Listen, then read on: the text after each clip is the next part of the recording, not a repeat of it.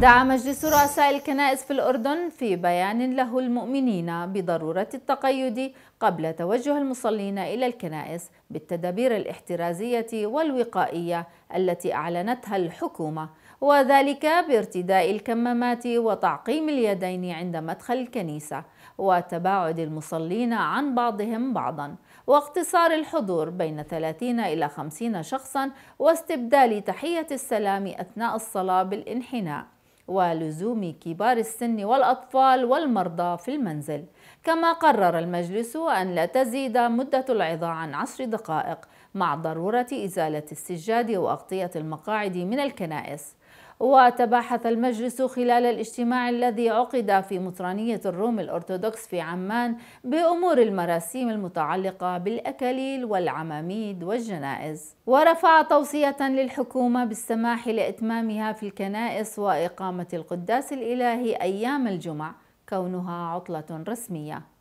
هذا وكان لمكتب نورسات الأردن اتصال مع عدد من رؤساء الكنائس المحلية الذين أوضحوا الإجراءات الاحترازية لكل كنيسة. قبيل توجه المصلين إلى الكنائس يوم الأحد السابع من الشهر الجاري. بلشنا في مقدمة للحديث سيدنا عن البيان الذي أصدرتموه من آه، مجلس رؤساء كنائس الأردن بخصوص العودة إلى فتح الكنائس يوم الأحد. فوصلتنا اتصالات وتساؤلات آه، طلبوا منا الإخوة أن نثيرها في البرنامج بخصوص الآلية للعودة إلى الكنائس. كيف راح تتم خاصة مع القوانين الدفاع اللي مصدريتها الحكومة بخصوص يوم الأحد الزوجي والفردي التباعد الاجتماعي إلى آخره. فسيدنا أهلا وسهلا فيك ببرنامجنا وسعيدين فيك هذا النهار والميكروفون معك. إيه، وصلنا لهذا القرار حقيقة المفرح اللي كلنا استنيناه إنه فتح الكنائس. وهي تعزية كبيرة لإلنا؟ لأنه بنعرف ونحن حاسين إيه، قديش الظروف صعبة عمالها بتكون على المواطن على أبنائنا الروحيين. نعم. وبالأخص إنهم دائما كانوا إيه، بينتظروا يفتح حضن الكنيسة اللي هو يستقبلهم حتى يكونوا بحضن يسوع.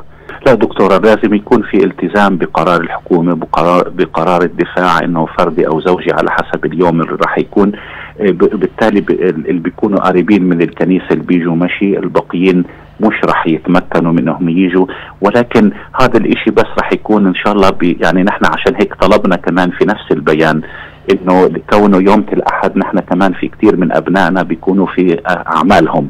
نعم. هلا المعه تصاريح أكيد بيقدر يجي ولكن الما معه تصاريح مش راح يقدر انه يجي. ولكن هذا الموضوع ان شاء الله عن قريب يعني خلال أنا بعتقد خلال أسبوعين بالكثير بمعونة ربنا.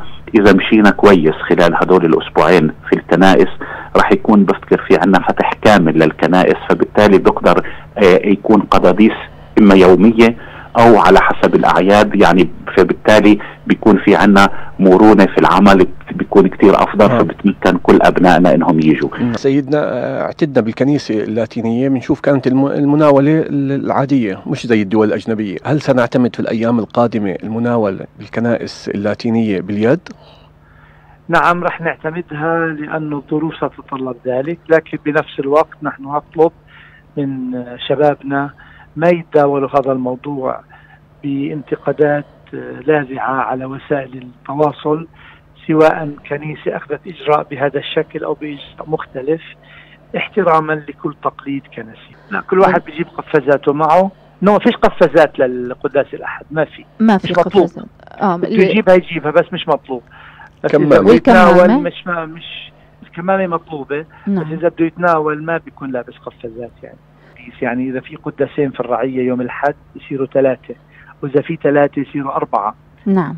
ويفتحوا القاعة المجاورة مع وضع تلفزيون أو شاشة وإمكانية التناول أثناء القداس في القاعة. نطلب تعقيم الأيدي عند الدخول وضع كمامة ونزع السجاجيد السجاد لأن السجاد بيعمل بينقذ الوباء بسهولة. نعم. آه هذه الأمور الرئيسية اللي نطلبها. بنطلب كمان من الكاهن إنه ما يطولش في الكرزة لأنه آه الناس لأنه راح يصير في أربع قداديس فلازم يكون اذا القداس أقل من ساعة أو ساعة على الأكثر. إن شاء الله آه، أول قداس حيكون الأحد الجاي آه، عيد العنصرة وهتكون الفرح مضاعفة زي ما سبق وقلت والأمور هتترتب شوي بشوي.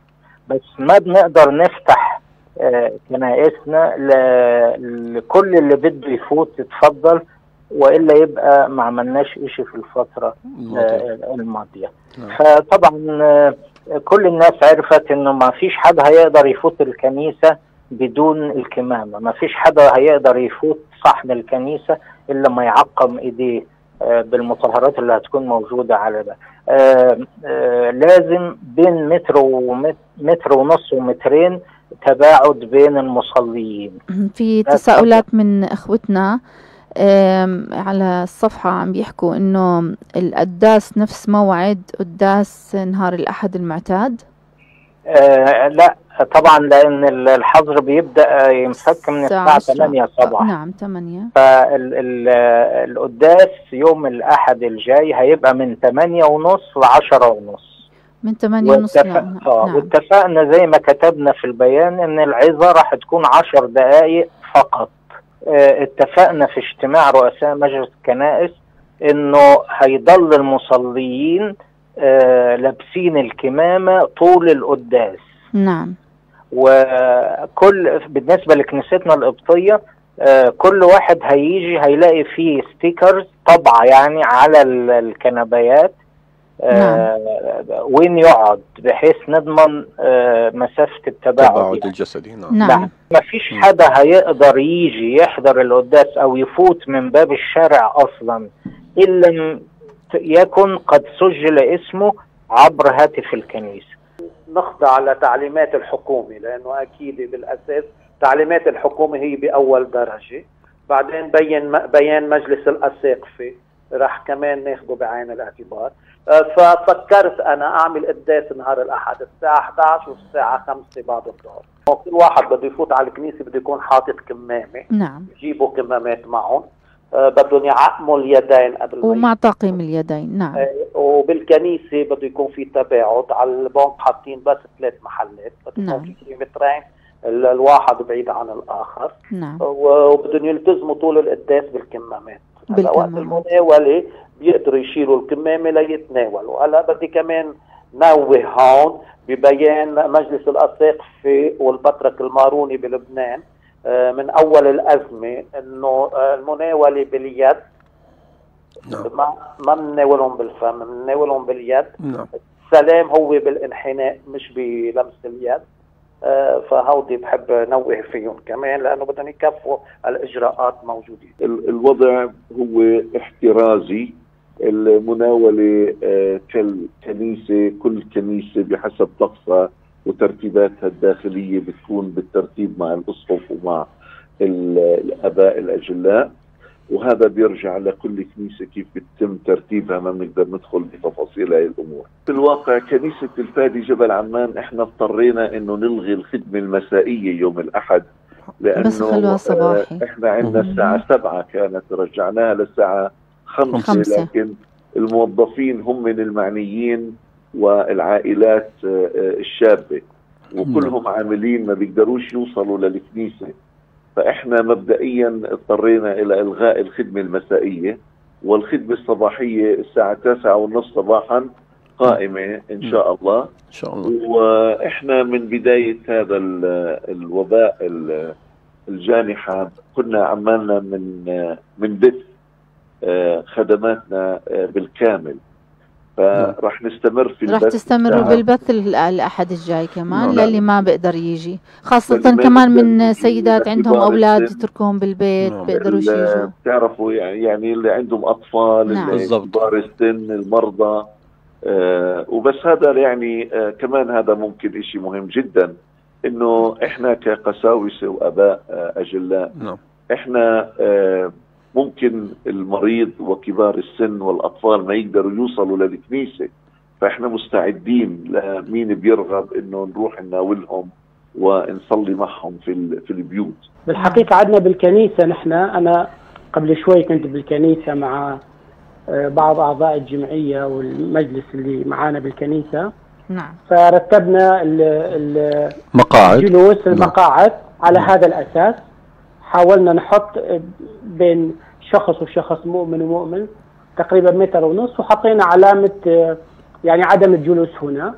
وإن شاء الله يكون معنا الكشاف السرياني حتى ينظم العملية بالتعاون مع أعضاء الجمعية وال يعني النشاطات كلها إن شاء الله بتكون يعني آه لغرض أنه ربنا اولا يحمينا ولغرض أنه الوقاية حتى نستطيع أنه آه بقوة الرب. نستطيع انه كلتنا آه نتجاوز هالمرحلة الصعبة. حقيقة هو آه القداديس هي كانت قبل أزمة كورونا الساعة 9 الصبح لكن راح نسوي القداس الساعة 10 الصبح عشرة صباحا. إن شاء الله 10 صباحا. نعم. ونحاول يعني الأمور التنظيمية وراح نكتب أيضا إرشادات داخلية ل- لجماعة الكنيسة المؤمنين. بالتقيد بها من ضمن مثلا آه، المؤمنات الشماسات يلبسوا الإيشارب كان يأخذوه من الكنيسة من داخل الكنيسة. نعم. فهذا ممكن يسبب عدوى. نعم. فممكن كل وحده يجيبها من البيت مثلا معها نعم. آه، ترك مسافة أثناء المناولة. نعم. يعني هيك أمور إن شاء الله إن شاء الله. آه، نرتبها مع بعض. بالحقيقة صعب راح يكون قداس ثاني لأنه حسب آه، عقيدة الكنيسة عندنا إذا تم قداس ثاني لازم يكون كاهن ثاني. في نفس اليوم أقصد الأحد نعم. يكون كاهن كاهن ثاني ويكون على مذبح ثاني. آه. فيمكن يكون صعب كثير أنه نحن راح نلتزم حاليا على الأقل الأسبوعين هذه في قداس يوم الأحد فقط. نعم. لكن نبه المؤمنين أنه يعني دون العشر سنوات يفضل أنه آه، آه، يكونون بالبيت، الكبار بالسن، ال- المرضى، نعم. آه، يعني بالنسبة نحن عندنا مهجرين عراقيين أيضا يحضرون آه، أكيد. للكنيسه، نحاول نحافظ على أنه من كل منطقة ممكن باص يطلع. نعم. حتى نطيق نحافظ على هذا التوازن. نعم. بعد هالفترة الطويلة آه، فرحة أكيد فرحة إنه إن نعود لكنائسنا لأبنية الكنائس ولأنه حسب بقول الكتاب المقدس هو ذا ما أجمل وما أحسن أن يسكن الإخوة معا. نعم. لأن هناك أمر الرب بالبركة. نعم. آه، طبعا ال- الخدمة بالكنيسة بالنسبة لنا نحن كنا بنعمل الساعة سبعة مش رح نقدر نعمل الساعة سبعة عم نفكر نعمل الساعة خمسة ال- ال- الصلاة المساء؟ مع ال- خمس الساعة المساء خمسة قسيس المساء، نعم. نعم. نعم. آه، بس آه، رح نرجع ون- ونأكد كمان على الأوقات لأنه عمال نتدارس آه، بالمسافات وهل ممكن يكون يعني هل ممكن يكون يعني آه، مناسب للجميع. نعم. مهمة ل- لوجودنا ل- للكنيسة لكل واحد بيجي. الكل لازم يكون ملتزم بالتعليمات لازم كل كل موجود معه الكمامة. آه، اللي راح يكون في عنا على الباب تعقيم للإيدين. هلأ عمالنا نحن من بنحضر آه، بالكنيسة بنفس المبنى بنباعد المقاعد بين بعض. آه، شلنا السجاد من الكنيسة. آه، حتى الكتب آه، شلناها حتى يكون في عندنا بس ورقة واحدة للجميع اللي يستخدمها. آه، تكون فيها كل الرسالة وكل الخدمة آه، حتى يقدروا يستخدموها ما- يضلوش يتنقلوا بين الكتب. نعم. لازم كل شخص بده يجي على الكنيسة لازم آه، يرتدي كمامة. نعم. وكل شخص هذا أهم شيء بعدين بده يصير قدام الباب آه، تع- تعقيم آه، عشان الإيدين لما بفوتوا جوات الكنيسة. نعم. وحسب التعليمات اللي نحن اتفقنا مع بعض أهم شيء إنه نحن نبوس بيقولوا نبوس الانجيل نعم. وناخذ القربان. كل كنيسة بده يلتزم حسب القوانين الكنيسة تبعه وبده ياخذ الإجراءات ال- وقائية هذا ال- الوقائية. الوقائية نعم. حسب حسب الكنيسة حسب ال- تقاليد الكنيسة. نعم نعم. والشغلة الثالث أهم شيء نحن هلأ شلنا كل السج- السجادات من الكنيسة والغطاء اللي فيه على الكرا- الكراسي نحن شلناه وهلأ آه، حطينا كل على كل كرسي ثلاث أشخاص أو أربع أشخاص بده يقعدوا إنه متر ونص أو مترين بيصير بيقعدوا واحد من ثاني وكل شخص وين بده يقعد؟ عملنا آه، عملنا إشارة أنه يقعدوا وين هن لازم يقعدوا نعم. وبعدين آه وين محل الهيكل؟ جوات الهيكل تقريبا مترين من الهيكل. ما فيش ناس إنه يقدر يتقدموا. الشخص اللي بده يتناول بعد القداس. بخلص القداس كل شخص لحاله بيجي بيتناول القداس لأنه يصير كل شيء بالتعكيم إنه المرض آه لا سمح الله إنه ما ينتشر أو شيء